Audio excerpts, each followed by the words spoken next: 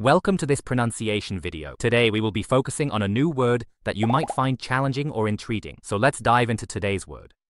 じゃあただ which means Then just in Japanese. let's say it all together.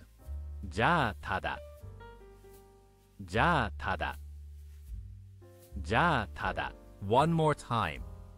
じゃあただじゃあただじゃあただ Thank you for joining us on this adventure in pronunciation. Remember, language is a journey, not a destination. Keep exploring, experimenting, and expanding your linguistic horizons. We'll see you next time.